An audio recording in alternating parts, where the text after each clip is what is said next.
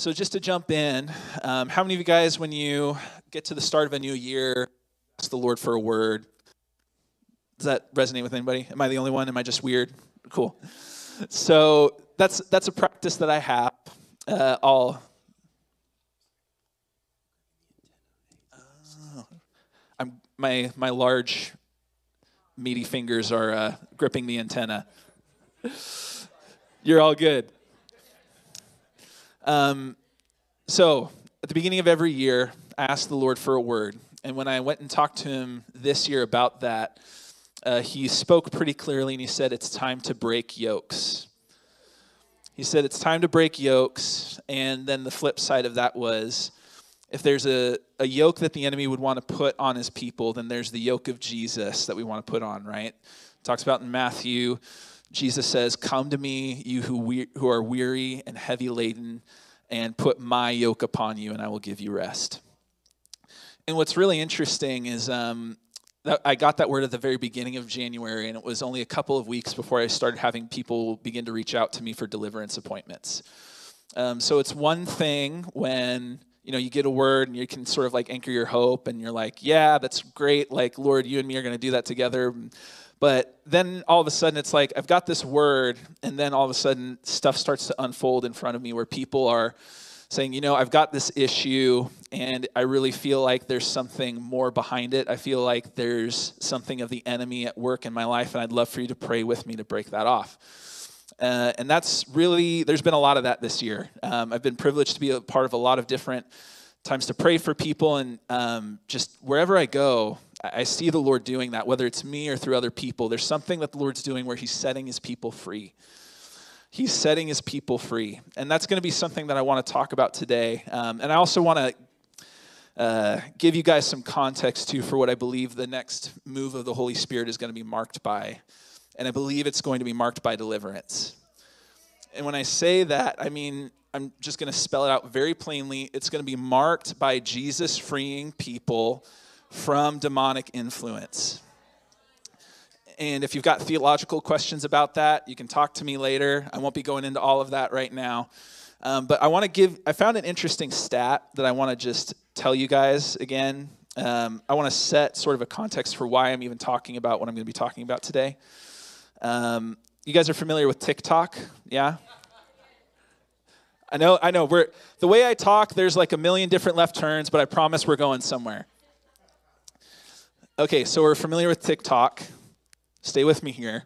How many of you are familiar that uh, witchcraft, Wicca, New Age stuff is very prevalent in our culture today? Yeah. So there's actually a, a hashtag uh, within TikTok called WitchTok.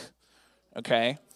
And I found this really interesting statistic. It's about a year old, but the numbers, I think, just uh, give an interesting snapshot into where our culture's at specifically where Gen Z is beginning to come from when it talks about spirituality.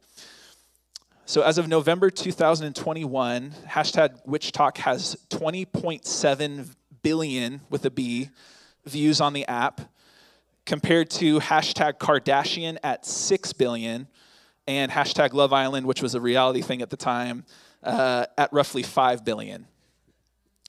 We're not even in the same ballpark as the other ones, right? We're talking tens of thousands of billions.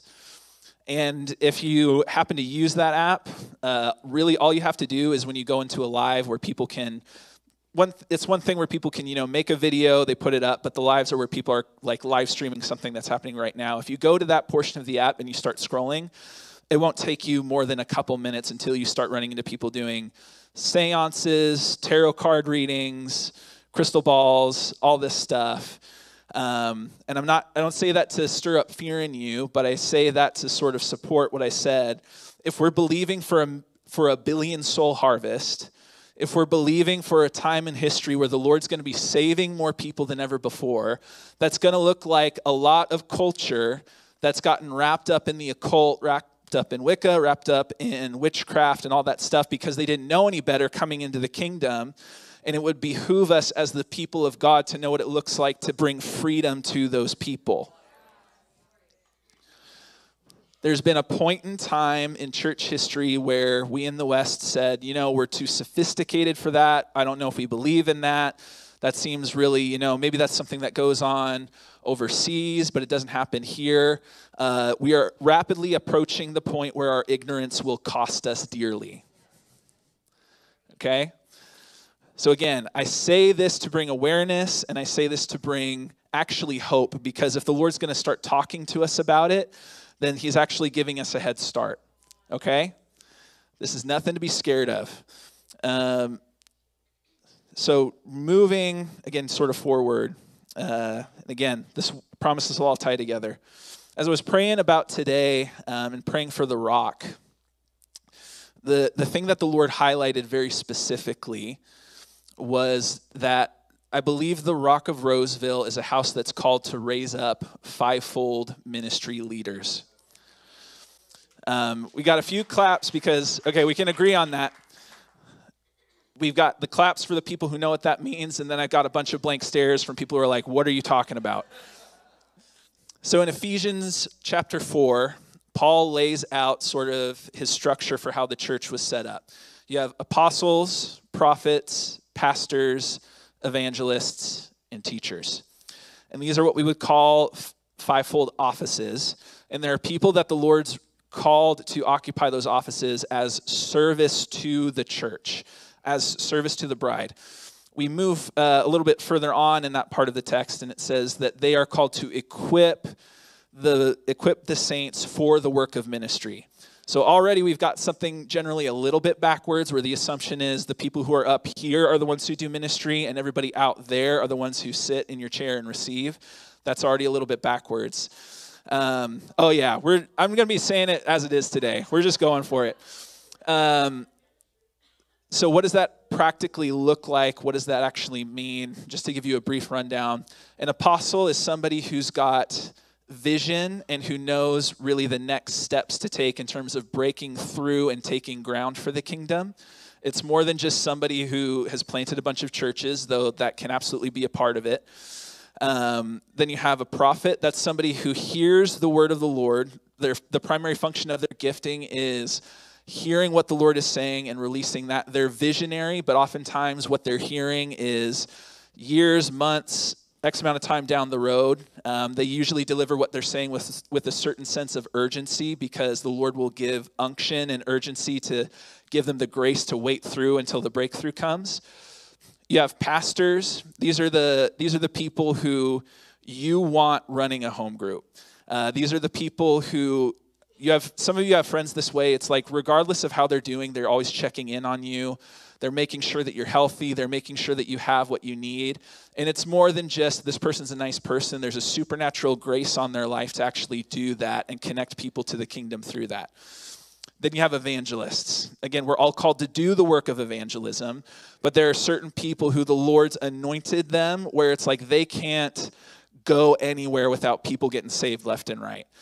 Uh, my my brother-in-law Alex, I would say, is one of those people. Um, especially when I first met him, it was like every time I met him, he was like, dude, three people got saved at Whole Foods yesterday. Dude, I went to the mall and this person came up and they were crying and they're like, I need to know Jesus. And he's like, Who are you? I don't know, but let's pray to have you accept Jesus. And then you have teachers. These are people, again, we're all called to know the word, but these are people who have been given a grace by the Holy Spirit to study deeply and know line upon line what truth is based off of the Word of God. So, again, we need all of that. And when I say that the rock is called to raise up fivefold leaders, that's what I'm talking about. That's where we're called to go, that's where the Lord's taking us. So, something though, and this is where we start to get into what I want to talk about today, something we often miss when we talk about the fivefold is we usually stop right at they're called to equip the saints for the work of ministry. The chapter doesn't end there moving on from that point, it says we're called to, that the fivefold office is called to minister, equip the saints for the work of ministry until we all attain unity of the faith and maturity measured by the stature of Christ. So if there's a call to raise fivefold leaders on this house, then there's a call to unity on this house. There's a call to unity on this house. Because how many of you would understand by looking at where the world's at, looking at where the church is at, we've got a lot of people who say they've got really powerful ministries, but we have very little unity. And I want to say, I want to preface this too, um, or I should say, interject this. A lot of what I'm going to be talking about, you might hear what I'm saying as being degrading towards the church. That's 100% not my heart. That's 100% not what I'm going for. I actually love what Brandon said, where he brought up uh, the picture in Revelation where Jesus is walking amongst the lampstands. And why I bring that up is if you look at the context of what's actually being said in those verses, the church is basically in shambles at that point. There's people who have actually let in a Jezebel spirit in some churches uh, beyond just this esoteric, weird, like, I don't know, it feels spiritually funky. It's they've actually let in corrupt teaching to where people are committing sexual immorality on a regular basis. There's people whose love is growing cold towards Jesus. They're forgetting the love that they had at first towards the Father. And it's actually in that and it's actually in that context that he gives John this vision of Jesus walking through the lampstands. And what does that mean and why do I say this? That means that regardless of what the church is going through, Jesus has not given up on her. And I'll say this too with all the deconstruction and everything that's going on. I'll be gaining it now. I'll be gaining it now. Deconstruction, but you can actually deconstruct and still hold on to Jesus. Um, what I would say with all of that is um, I would acknowledge that the church in general, the church in America, we've got a lot of stuff to work on. But you have permission to give up on the church when Jesus gives up on the church. I'll say that again because some of you got offended, so I'll just say it again. you have permission to give up on the church when Jesus gives up on the church. Exactly.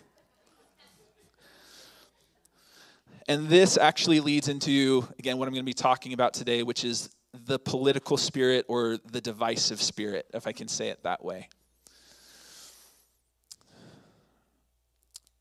To give a quick little bit of biblical background, um, again, I'm going through a lot and I realize that.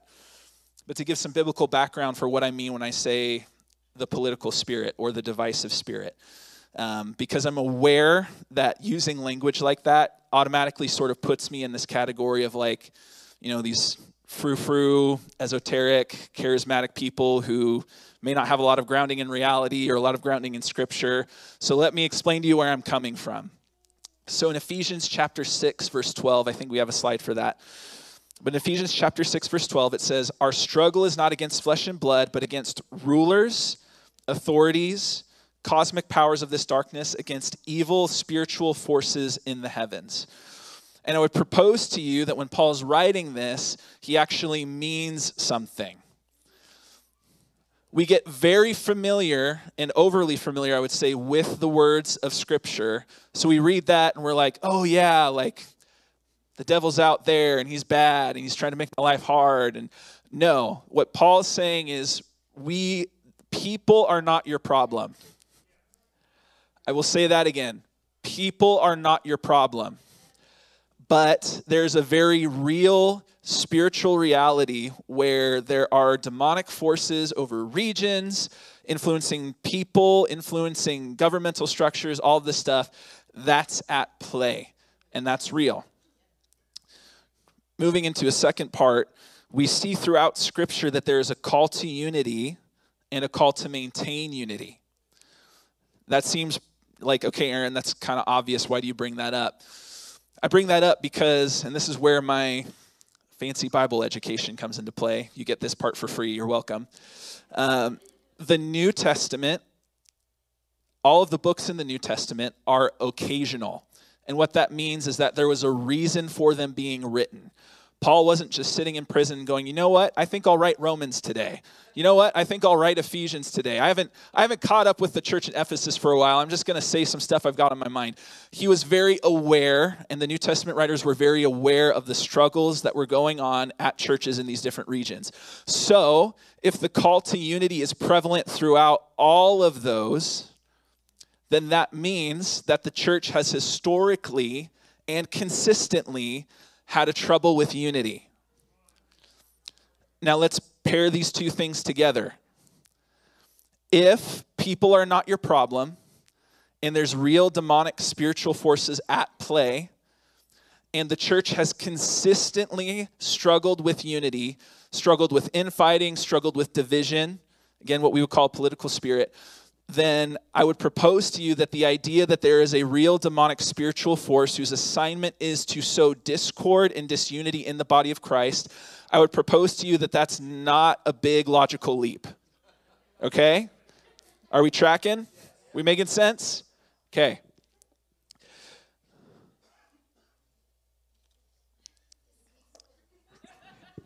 Got to get coffee to get ready for round two. Okay. So I want to frame our talk today, uh, again, in the context of the word that God gave me for the year, where there's a yoke of bondage that I would call the political spirit or the divisive spirit. But then there's a yoke of Jesus, where there's mutual submission and submission to Jesus and submission to each other. So when I jump into this part where I'm going to talk about the political spirit, it might seem very disjointed, but I want to give you guys kind of a picture of what I'm doing a lot of times in sermons we're used to a very line upon line this thing equals the next thing equals the next thing equals my main point. What i'm doing is saying okay if we can agree that there's a political or divisive spirit at work at large i'm going to hold that up and i'm going to try to show you different facets of that thing so I'll be going and making a bunch of little points that I think are potent, I think are real. I spend a lot of time in prayer around these, a lot of time in scripture around these. But I just want to give you some context for how I'm going about it because you're like, well, you were talking about this thing and you jumped over here. Again, I'm holding something up. I'm saying, let's look at this from a bunch of different angles. I'm also hoping to hold a mirror up to our own hearts. Because what we're very prone to do as human beings is when somebody brings up something that could lead to conviction, we're very prone to saying, everybody else but me and I'll actually start off by saying that's one of the things that the political or the divisive spirit does. Everybody else is the problem. I'm not the problem.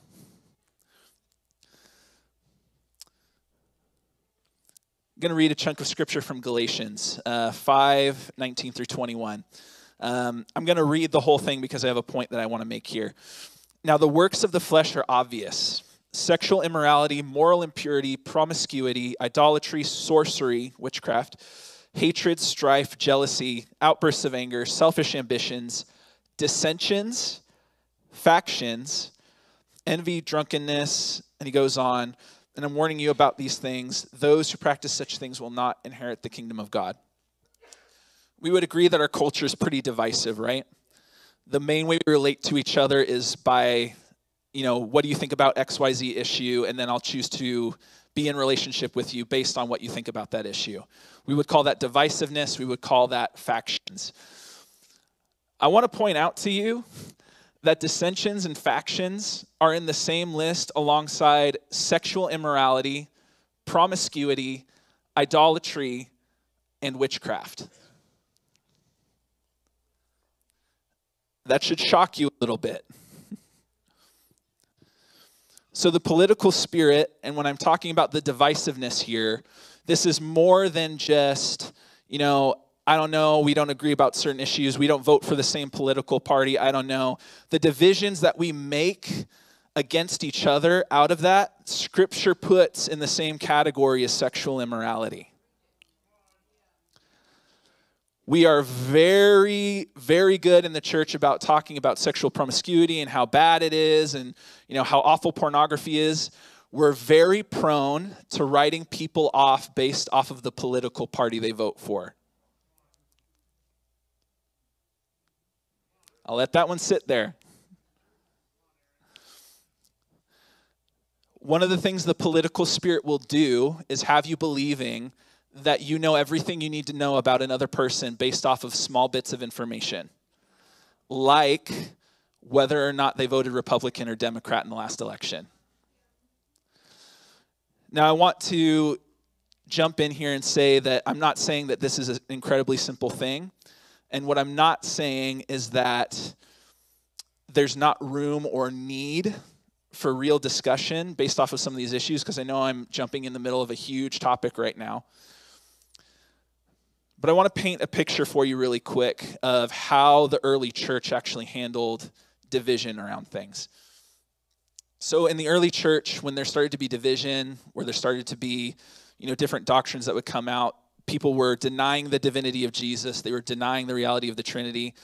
In today's culture, we'd say, eh, you think something I don't agree with? Cool, you go start your own thing. I'll just separate off from you. In the early church, we spent hundreds, I will say this again, hundreds of years in dialogue with each other. And when a decision finally got made, leaders from all the churches from all over the world, from within Rome, the Mediterranean, Africa, came together. So we're talking weeks worth of trips to come together to begin to make a decision on something that they would then call heresy. We are prone to hearing something that makes us uncomfortable and writing them off as a heretic. One is based in family, in unity, and preserving the body. The other is based in, I don't want to have an uncomfortable conversation with you, so I'm going to write you off and ship you out.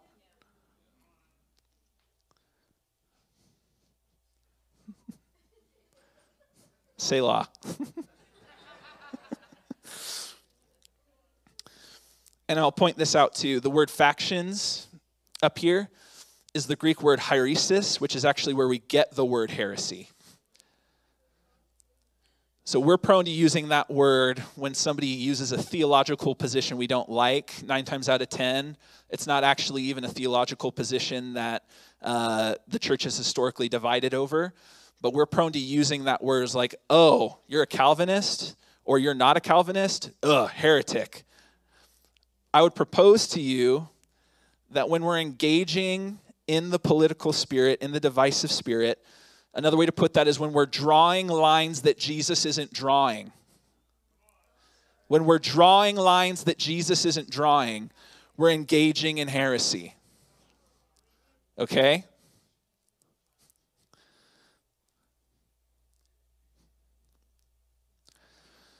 Another point to make, another facet. The political spirit makes ourselves and our opinions the central thing that we unify around, as opposed to Jesus himself. The core is pride and the need to be right. The Lord uh, confronted me on this pretty clearly when I was in the middle of working on my Bible and theology degree. I was coming out of one of my classes and he just spoke very simply to my heart. He said, Aaron, if you study so that you can be right, that's all you'll get. If you study to know me, you'll get everything.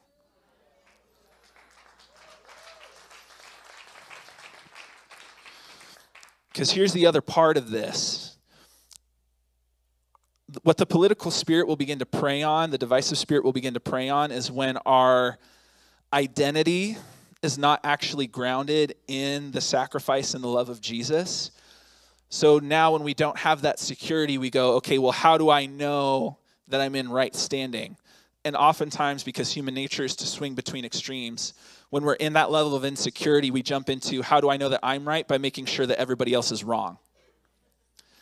So when we study, when we learn, when we read scripture, it's oftentimes not from a place of, I want to know God. It's, I want to be the most right person in any room so that I know that I'm okay. And that's where the divisive spirit gets in. Because now all of a sudden, the thing that we're supposed to be unifying around scripture, Jesus himself, we use him essentially as a battering ram to push other people aside when they don't line up with our interpretation. And I will say, too, something that we have working against us here. Um, this isn't to make a value judgment, this is just something to point out. Being Protestant, part of our movement says when we don't agree with people, we create another denomination. Again, there's a lot of historical stuff into that. I'm not trying to open up that whole can of worms, but I am pointing something out. Part of our faith history says that when we don't agree on something, we just say, like, cool, I'll separate off, go start my own thing leads to a situation right now where we have 30,000 Protestant denominations. That was 30,000.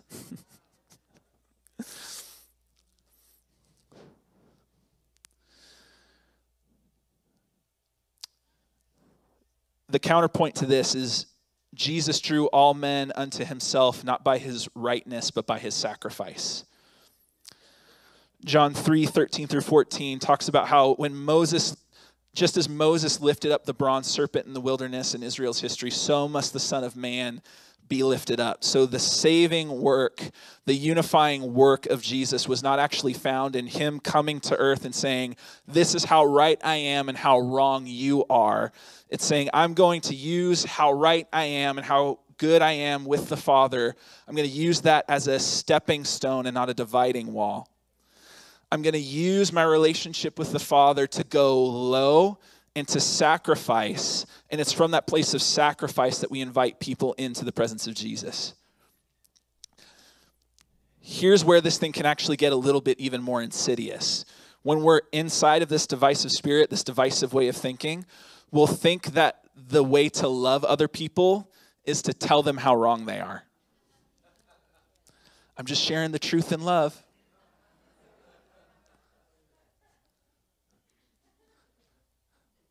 Judging by the nervous laughter, we've heard that one a few times.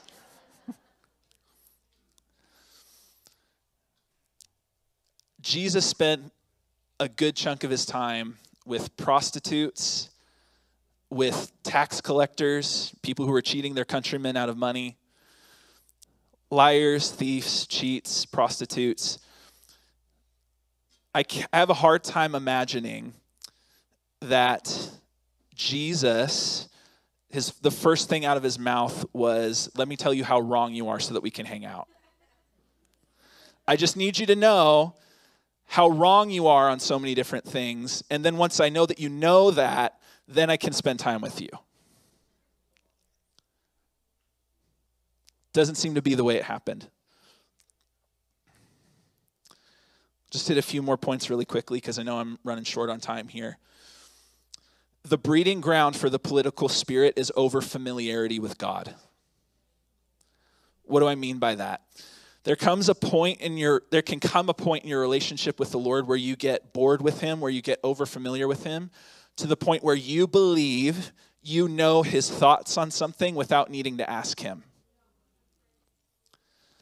The moment you step into that, you put yourself in a position where you now have to defend that thing constantly and that's when you start laying the axe to the root of a bunch of different relationships. Because now all of a sudden, the trap that we've bought into is if I'm engaging with the world through that spot of, I know God so well, I don't need to ask him, this is what he thinks about everything. Then the moment somebody brings a contrary opinion, a contrary thought, you're not interpreting that through the lens of maybe I was wrong. You're interpreting that through the lens of if I'm wrong on this, I don't know God. Which is why we get so hostile. Because we've conflated our need to be right and our need to know everything with what it means to actually know God, and they're actually very different. What do I mean by that? Another practical picture that actually somebody shared this with me and it really changed the way I looked at uh, theology and just studying and knowing God in general. He said, When you get to heaven, when you see God in all of his glory, when you see what John talks about in Revelation 4 lightning, thunder, angels circling around him, worship going on, do you think you're going to look at that man and say, Yep, got it all right? I nailed that. I couldn't have been any more correct on who this guy is and how this all worked out. Man, I am I am just so right on. Okay, so if that's the case, and if we're going to need to acknowledge that when we see him, we're going to realize we were wrong on a lot of stuff maybe we should be engaging with people, with ourselves, with a little bit more humility. Got a bunch of more points, but I want to. I want to. I don't want to just end in what not to do. I want to end this with uh, giving a picture of what Jesus is actually inviting us into. A bunch of these are in Ephesians. I'll just give some highlights really quickly. Um, for slides, this is uh, the yoke of Jesus, which is submission to Jesus and submission to each other. Ephesians 5 18 through 21. Paul's writing and he says, uh, giving thanks always for everything to God the Father in the name of our Lord Jesus Christ, submitting to one another in the fear of Christ. What's interesting here is that submission to Jesus, Paul equates that with submitting to one another.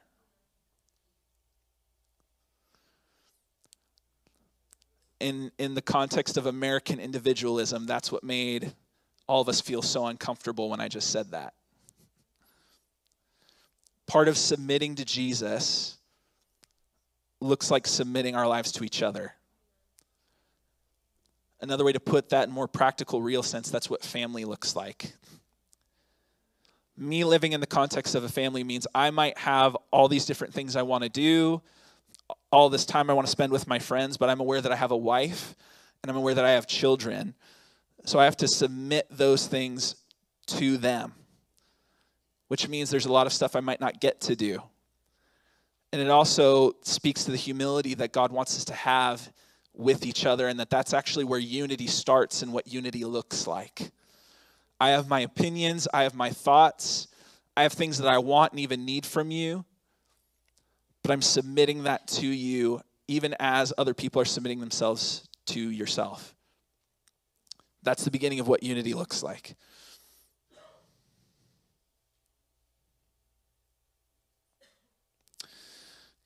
Ephesians 1 20 through 23. We're familiar with this passage, but there's something I want to highlight. He exercised his power in Christ by raising him from the dead, seating him at his right hand in the heavens, far above every ruler, authority, power, and dominion. Again, that's the stuff we were talking about from Ephesians 6. And he subjected everything under his feet and appointed him, Jesus, as head over everything for the church, which is his body the fullness of the one who fills all things in every way. Part of the plan of God for unifying everything was to unify everything under Jesus.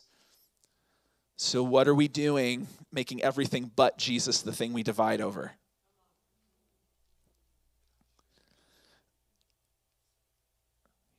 I'm not saying that we that there aren't reasons to divide. I'm not saying that there aren't real conversations that need to be had. What I am saying is most of the time we're missing the mark because we'd rather write people off than have uncomfortable conversations. When you engage with the political spirit, the divisive spirit, you get a faction. God's wanting to set up a family.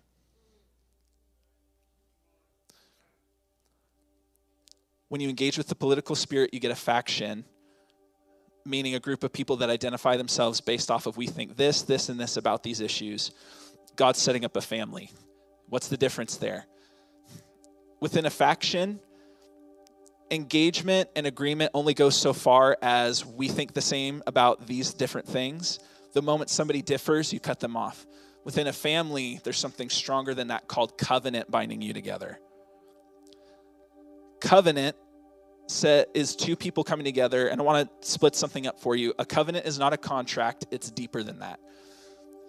When a, when a contract happens, the moment somebody breaks that contract, the whole thing's off. Within a covenant, that's two people coming together to say, or two parties coming together to say, regardless of how you show up, I'm going to show up. And that right there, that is what actually gives us the safety to have hard conversations because I know that regardless of how much it makes me uncomfortable and how much it makes you uncomfortable, I know that you're not going to leave just because I'm having the conversation with you.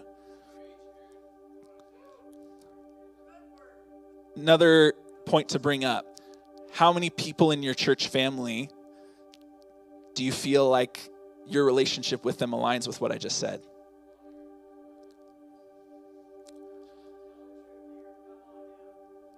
How many of us have switched churches without having a conversation, but because somebody said something from the pulpit we didn't like, and it ended at that?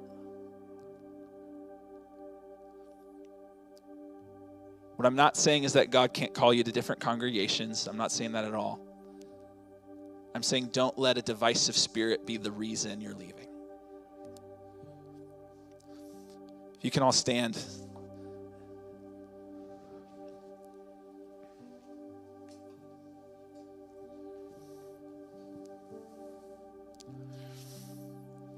You can just close your eyes, put yourself in a posture to receive. I'll lead us through praying something here in a minute. Um, there's one last point I want to make here, and it's that the political spirit will actually cut you off from experiencing the fullness of what God wants you to experience. I had a I had a big issue in my life where I uh, I actually would, sort of came up in the faith Baptist cessationist, so the prophetic healing things like that didn't happen. Um, and as after I came out of that into what we would call more of a charismatic stream, I very much let my heart get caught up in the divisive spirit because, like anything remotely anti-charismatic, remotely anti-gifts, I would instantly shut my heart off to that. But here's something that I had to realize my knowledge of Scripture came from the cessationist Baptist school that I went through K, K through 12.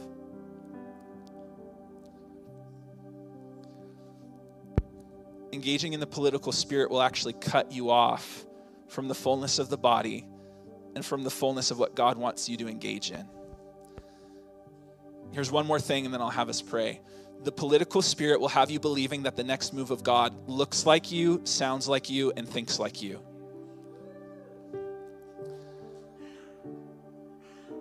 Anybody know how Azusa Street happened? Through a one eyed, uneducated, African American son of a slave that everybody wrote off. And that's what ignited the Pentecostal movement that we, in many ways, are a result of. And a lot of people wrote that whole thing off because the guy who was leading it was what I just described. The political spirit cut people off from experiencing what God wanted to do in that hour.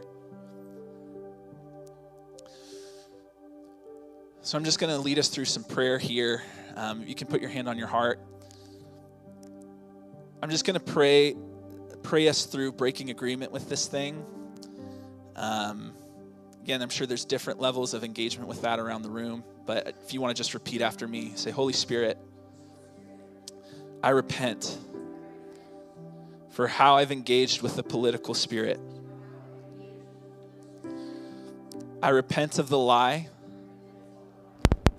that I can only be safe with people who think like me, act like me, and look like me. I repent for where I've sowed division. I want to be a unifier. Holy Spirit, convict me. Show me where I've said yes to this. Show me where I've said yes to this in my family, in my friendships in my relationships.